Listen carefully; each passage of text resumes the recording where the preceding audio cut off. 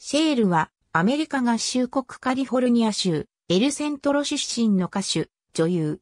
父親ジョン・サーキシアンはアルメニア系、母親ジャッキー・ジェーン・クラウチはチェロキー・インディアン、アイルランド、ドイツ等の血を引く。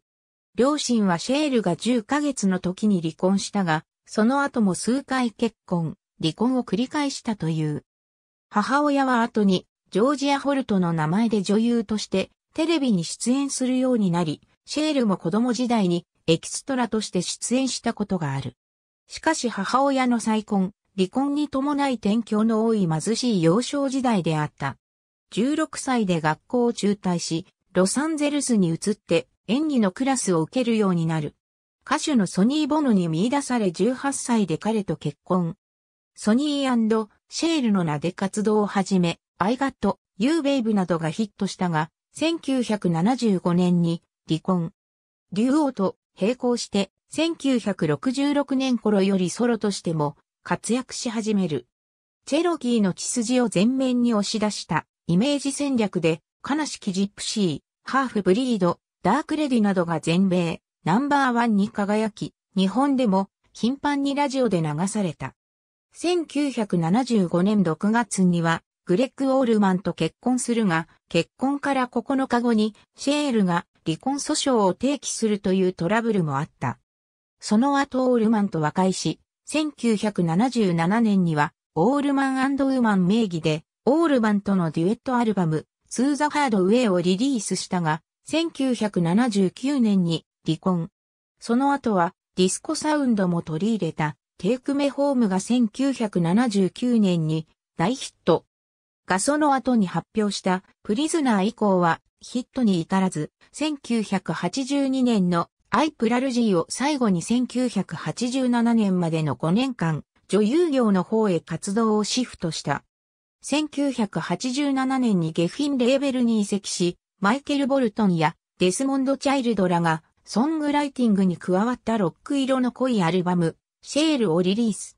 ファーストシングルの I Found Someone が10位、セカンドシングルの We All Sleep Alone が14位とシングルヒットを飛ばした。アルバムもプラチナディスクを獲得している。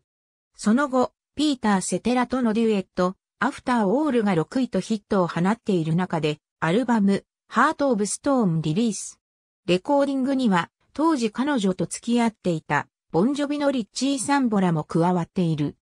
このアルバムからのファーストシングル、If, I Could, Turn Back Time が3位とヒットを放つと、続く、Just Like, ジェシー・ジェームズが8位、サードシングルの、ハート・オブ・ストーンも8位とヒットシングルを連発した。特に、If, I Could, Turn Back Time のプロモーションビデオは、アメリカ海軍の軍艦上でロケが行われ、多数の水兵のエキストラを前にしての Tバックスーツでの出で立ちが耳目を引いた。その後、1991年に Love Hurts、ワーナーへの移籍を経て、1995年に、 It's a Man's World をリリースするものの、ビッグヒットには至らなかった。しかし、1998年にヨーロッパで先行してリリースしたシングル、ビリーブが大ヒット。その後、各国で1位を記録した。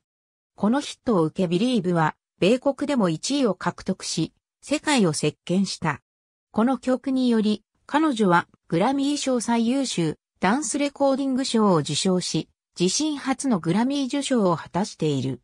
しかも、このビリーブは世界中のヒット曲をランキングしたワールドチャートにて現在歴代1位という輝かしい大記録を保持している。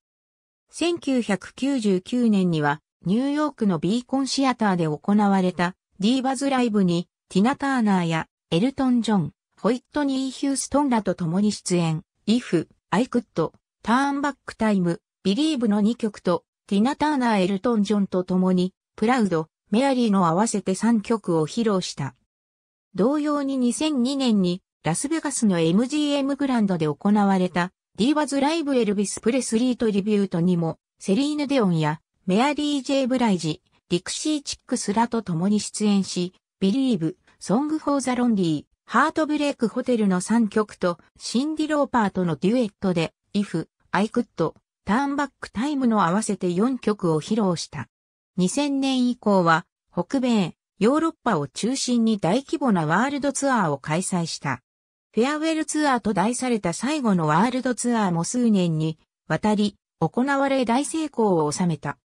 2013年9月20日にソロアルバムとしては2001年のリビングプルーフ以来12年ぶりとなるスタジオアルバムクローザーツーザトゥルースをリリース。ビルボード200において初登場3位を記録、自身の初登場記録を塗り替えた。さらに、その Look at Us が発表された1965年から2013年の Closer to the Truth まで48年以上の歳月にわたってビルボード上でトップ5に入るアルバムをリリースした人物としての記録も塗り替えた。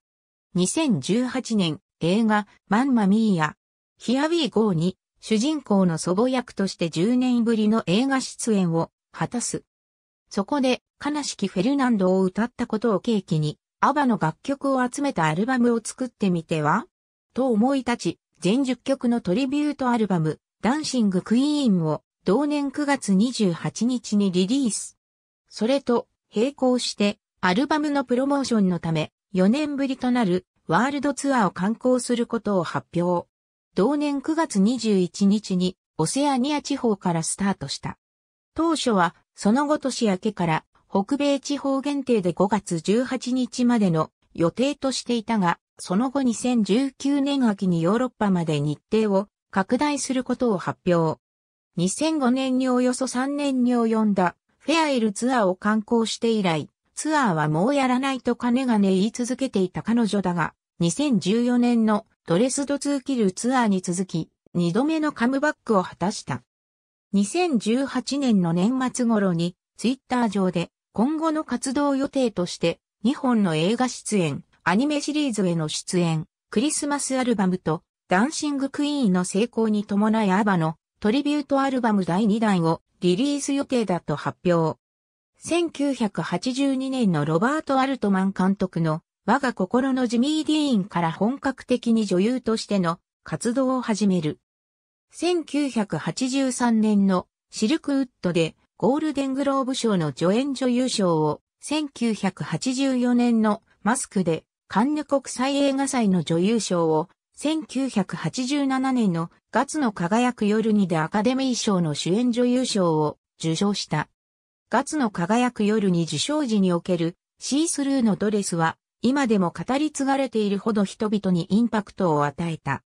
これまでもそのエロチックな主体や衣装で何かと注目を集めたシェールだが、プライベートな思考でも常に話題性に富み、伝部にはバタフライの入れ墨を入れるなど全身にあらゆるタトゥーを入れていたことは有名であった。